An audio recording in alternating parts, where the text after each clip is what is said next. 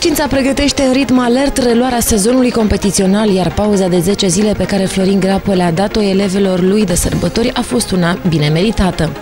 Pauza a fost uh, de 10 zile și simt bine. Suntem încet, încet, începem să intrăm în formă. Știința luptă pentru același obiectiv ca și anul trecut, titlul și Cupa României. Pentru aceleași trofee se bat și Dinamo București și Volei Alba Blaj. Am vrea să câștigăm toate meciurile și mai departe să câștigăm campionatul. Asta este obiectivul nostru.